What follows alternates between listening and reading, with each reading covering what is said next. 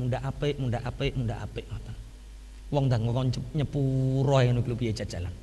Ya belajar saking ayat asa rabbukum ayarhamakum. Wong Bani Israel kelakuane kaya ngono lho karo Gusti Allah dinantikan nek kowe apik neh kowe tetep tak kei kasih sayang, tetep disepuro. Mosok kok awake gak iso niru. Belajar dari Abu Bakar As-Siddiq radhiyallahu anhu. Abu Bakar niku orang yang paling dermawan. Sahabat Kanjeng Nabi sing paling dermawan niku Abu Bakar. Sampai harta Abu Bakar itu tidak ada yang diwariskan untuk anak-anak cucunya. Semua untuk sedekah. Tapi ojo tiru. Mundak diserengeni bojomu sampean. Wes aku gak pengin sampai niru Abu Bakar ora, minimal nyuntu sidik rapopo. Abu Bakar itu tidak ada hartanya yang diwariskan untuk anak cucunya, semua untuk sedekah untuk perjuangan li'ila'i kalimatillah.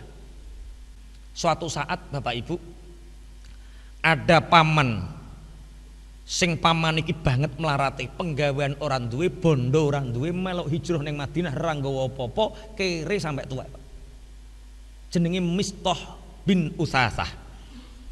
Mistah bin Usasah niku Pak Lie utawa pamane Sayyidina Abu Bakar sing dirumat mangan dikei penggawean dikei cara uripe niki nggih kalih Abu Bakar cara uripe niku. Dadak ngoten niku. Mistah bin Usasah itu ikut menyebarkan hadisul ifki menyebarkan berita-berita bom tentang putrinya Abu Bakar yang bernama Sayyidah Aisyah. Nek Sayyidah Aisyah dituduh zino karena hadisul ifki itu parah Pak sampai Sayyidah Aisyah itu gak keluar rumah loh 40 hari Sayyidah Aisyah gak keluar rumah karena apa? Diberitakan bohong bahwa melakukan ini melakukan ini. Mistah bin Utatah termasuk menyebarkan. Cara Abu Bakar kok mentolo. Kok mentolo apa-apa kok kene kok nyebarno berita. Sumpah Abu Bakar. Demi Allah, wong sing kaya Mistah bin Utatah mulai sesuk tak cabut subsidine. Dadi ora dikei nafkah, ora dikei pangan, ora dikei apa-apa penggawean dipecat. Wis ora palik-palikan cara ngono ngoten. Cara sampean karo sikap Abu Bakar setuju apa ora? Cara-cara sampean bayang Abu Bakar lho ana wong model ngenten iki setuju napa mboten? Oh, setuju. Tapi Abu Bakar niku tiang ingkang dipun senengi kalih Allah Subhanahu wa taala. Sampai diturunke ayat. Nek sampean sing nglakoni ngono gak turun ayat. Sayyidina Abu Bakar nyatru mistoh lagi pirang dino wae. Sumpah orang ngekei nafkah ning Mistah bin Usasah. Langsung turun ayat. Wala tari ulul fadli minkum wasaati ayyutu ulil kurba wal masakini wal muhajirina fi sabilillah. Wal ya'fu wal yasfahu. Ala tuhibbuna ayyaghfirallahu lakum? Wallahu ghafurur rahim. Embok yo wong sing duwe bondo akeh duwe keluasan rizki embok yo ngekei kerabate. Sing miskin lan wong-wong sing hijrah ing dalem sabilillah mbok yo diparingi aja diembargo. Wal yafu mbok yo disepuro. Wal yasfahu mbok yo eh mistoh iya Mistah bin Utsatah menyebarkan hadisul ifki. Iya tapi kue Abu Bakar kekasih Allah kekasih kanjeng Nabi. Mbok yo sepuro. Akhirnya Abu Bakar langsung nyeluk Mistah dijak salaman dirangkul. Mbah elek o kelakuan mulai lek tetep tak subsidi lek kowe lek iso sama niru Abu Bakar model ngeten iki. Masya Allah wong kok apike kaya ngono. Piye umpama sampe dituruni ayat ya kaya Abu Bakar. Aja mbayangno. Kok plek-plek piye? Muskilat kok plek piye? Aneh aneh. Ora sak kuku irenge ora sak kuku irenge minimal contoh ngene lho umpama awake karo Pak Lek ora iso nyupridi umpama awake karo paman ora iso ngekeki apa-apa. Kita duwe kerabat duwe batas sing kelakuan elek minimal apio sepuro Wal yafu niku napa? Wal yafu wal yasfahu wal yastaghfiru. Dadi telu. Derajate wong ikhlas niku pertama memaafkan. Memaafkan niku napa? Ati niki pun mboten patek gelo. Ya nek petuk tok ngono rada mangkel. Tapi rasane gelo wis ilang niku wal yaf. Nek wal yasfahu siap ketemu salaman musafakah jagongan niku berarti wis mm, yasfahu. Sing apik nek nek wal yastaghfiru. Nek bahasane tengri ala tuhibbuna ayyaghfirallahu lakum. Apa kowe gak seneng umpama disepuro karo Allah? Lah nek kowe gelem nyepuro Mistah bin Utsatah, Gusti Allah ya nyepuro elekmu. Nek kowe duwe paklik kelakuane elek dongakno tengah wengi ya Allah, paklik kula nika ya Allah, jenengan sepuro dosane. Padahal sing ngetil dhuwitmu ya paklikmu. Padahal sing elek-elek kowe ya paklikmu. Padahal sing adu domba ya paklikmu. Ya kowe ya ngerti, tapi nek bengi cek budal ngono ya Allah, paklik kula niku jenengan sepuro dosane ngoten. Saged dipahami nggih kira-kira nggih? Nek ngelakoni kira-kira ya iso Oh, insya Allah jangan ya. Wis pokoknya sing penting pembahasannya Allah dibahas engko rak ya kuat-kuat dewi Allahumma amin. Bismillahirrahmanirrahim. Bapak Ibu dari ayat ini kita bisa belajar siapa pun berhak untuk dimaafkan. Bani Israel asa rabbukum ayyarhamakum. Siapa pun bahkan Bani Israel berhak untuk dimaafkan. Siapa pun berhak untuk dimaafkan. Jangan sampai kemarahan kita menghalangi kita untuk berbuat baik kepada orang lain. Ojo sampai Abu Bakar wong sing wis api ngekei mistoh ben ulan nafkah, ngekei mistoh ben ulan subsidi, nanggung urip mistoh. Ojo sampai kelakuan elek mistoh bin Utsatsa ngobrol-ngobrol berita-berita bohong. Ojo sampai kelakuan elek wong nyebabno awake ketularan elek. Jangan sampai kebaikan kita terhalang karena kemarahan kita.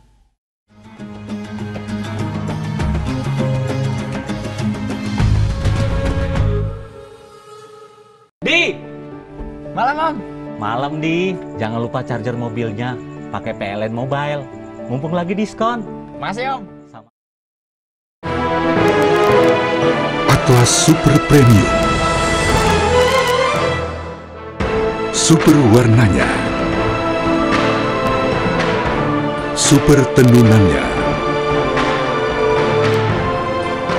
Super nyamannya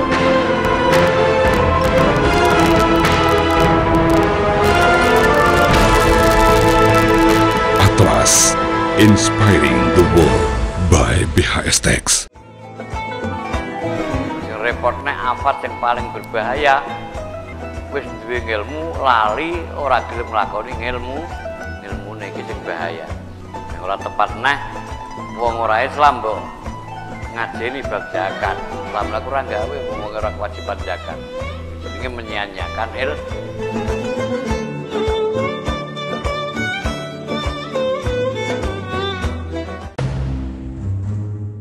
Selalu tersimpan kisah luar biasa di balik sebuah mahakarya.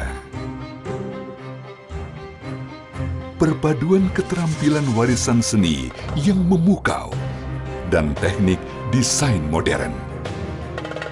BHS Puncak Pencapaian Karya Mahakarya Seni Tenun Indonesia BHS The Art of Craftsmanship Di, malam om. Malam di, jangan lupa charger mobilnya pakai PLN Mobile. Mumpung lagi diskon. Masih om. Sama.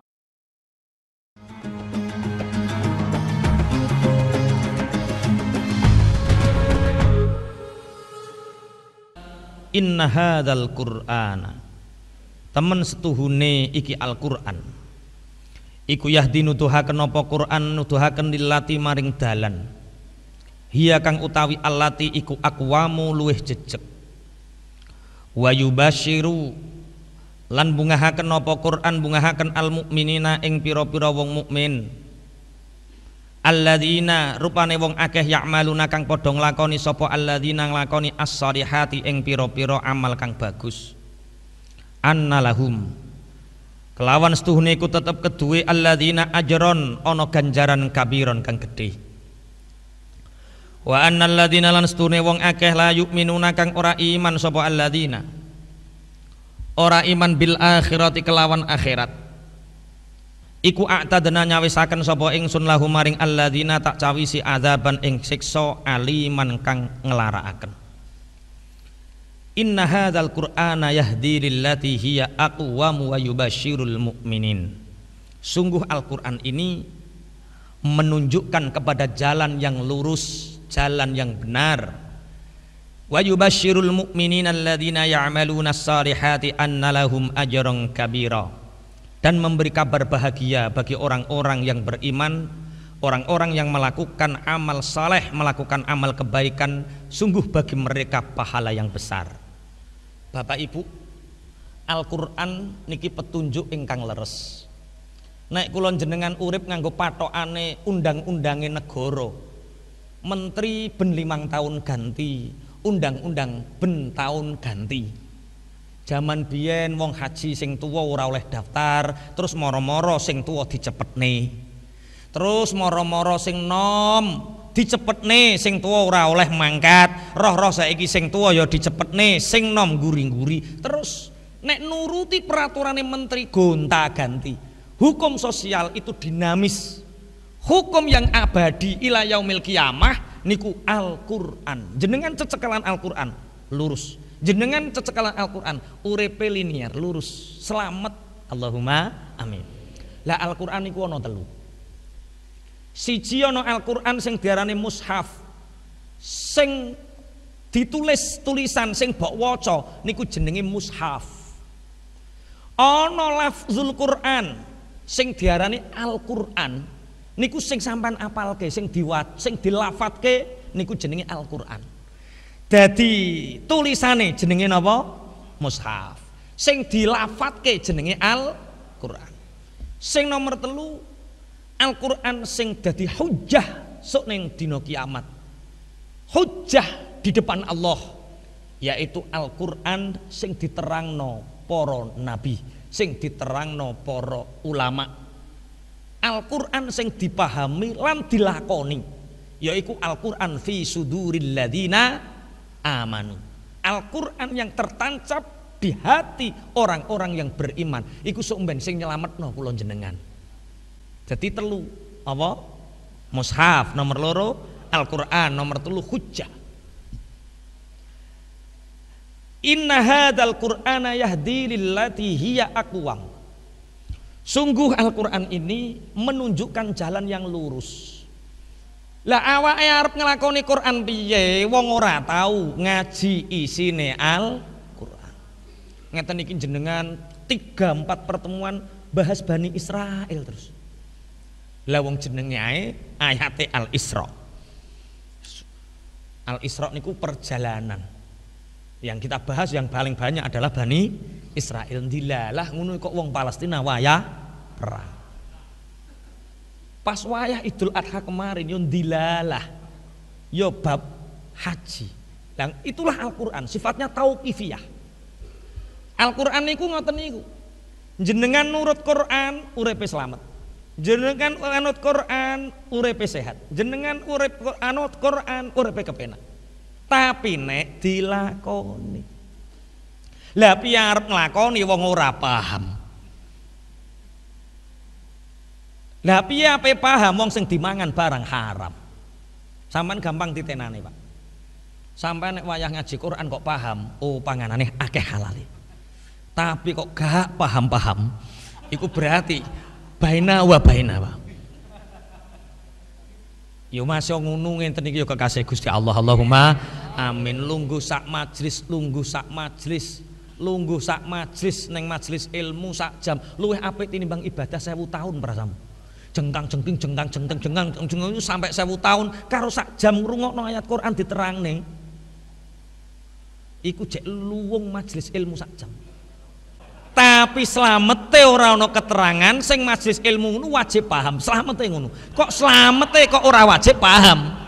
Masa teng majelis ilmu turu padha majelis ilmu ora paham padha sing paham ya tetep beda sing paham iso nglakoni kok sing ora paham ora iso nglakoni cuma mungkin ganjaran akhirate padha Allahumma amin tapi aja budayakno terus ngantuk ini aja budayakno Oh, terus podo terus salah ngantuk. Hei, sing penting tekong, ya aja. Engko tersinggung, Al-Qur'ane tersinggung. Dadi ngeten, orientasi ngaji Quran iku nglakoni. Niki enten setunggalipun hadis. Bismillahirrahmanirrahim. Niki pun Abdullah ibnu Abbas niki teng kitab Hilyatul Auliya wa Tabaqatul Asfiya. Karena Abdullah ibnu Umar a'taqa jariyatahu allati yuqalu laha Rumaitsah. Abdullah ibnu Umar ini memerdekakan budak perempuannya yang bernama Rumaitsah.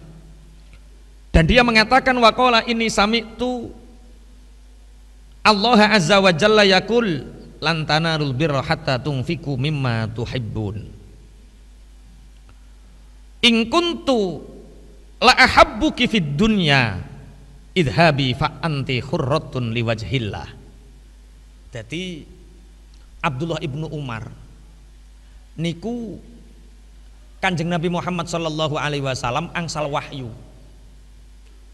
lantana tanalul birra hatta tunfiku mimma tuhibbun. Kalian belum mendapatkan kebaikan. Pahala yang besar sebelum kalian mau. Berinfak bersedekah dengan apa yang paling kalian cintai.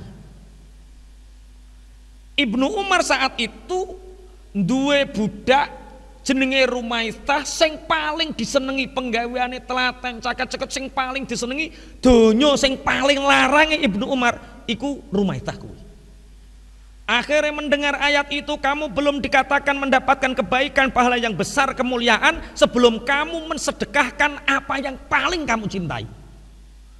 Ibnu Umar langsung membawa Rumaitah memanggil Rumaitah Wahai Rumaitah di antara hartaku yang paling aku cintai adalah kamu maka karena kamu yang paling aku cintai idhabi fa anti hurratun. Pergilah kamu dari rumahku maka hari ini kamu aku merdekakan. Perkara dunyane sing paling disenengi budak. Akhirnya Abdullah ibnu Umar dawuh ngeten. Nek aku seneng kue wahai rumaisah neng dunyo idhabi fa anti hurratun liwajhillah pergilah kamu sungguh aku telah memerdekakanmu. Ketika ditanya, kenapa engkau melakukan itu wahai Abdullah ibnu Umar? Abdullah ibnu Umar mengatakan, aku faham ayat ini. Aku faham ayat ini dan aku langsung akan mengamalkan ayat ini. Lantana alul birro hatta tungfiku. Bagaimana aku memahami tanpa mengamalkannya? Iki iki PR kulon jenengan. Ojo kok mau ngaji, paham terus orang mengamalkan Cara Abdullah ibnu Umar malu, malu isin. Lah yo aku paham, ngaku-ngaku paham, tapi aku ora gelem nglakoni. Bagaimana mungkin aku memahami tanpa aku menga mengamalkan?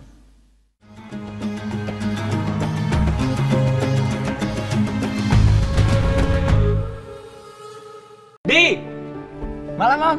Malam di, jangan lupa charger mobilnya, pakai PLN Mobile. Mumpung lagi diskon. Makasih Om. Selalu tersimpan kisah luar biasa di balik sebuah mahakarya. Perpaduan keterampilan warisan seni yang memukau dan teknik desain modern. BHS Puncak Pencapaian Karya Mahakarya Seni Tenun Indonesia BHS, The Art of Craftsmanship. memang seperti itu, laki-laki sama perempuan itu dari dulu memang seperti itu. Gak mungkin bisa sama 100% itu, gak mungkin bisa sama. Semua memiliki kelebihan satu sama lain. Makanya dua gelombang yang berbeda disatukan supaya menjadi satu gelombang untuk menghadapi hubungan pernikahan yang tentunya akan banyak ujian dan cobaan di dalam pernikahan.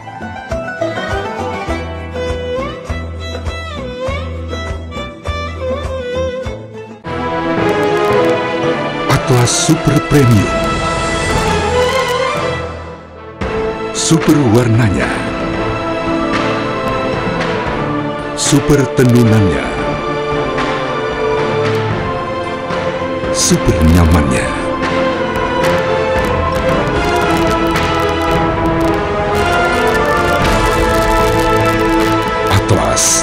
Inspiring the World by BHS Tex. Di, malam om. Malam di, jangan lupa charger mobilnya, pakai PLN Mobile. Mumpung lagi diskon. Makasih Om. Sama.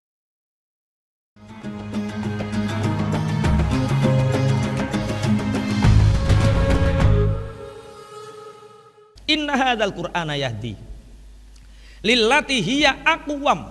Sungguh Al-Qur'an ini adalah petunjuk pada jalan yang benar. Maka berperilakulah pada jalan Al-Qur'an.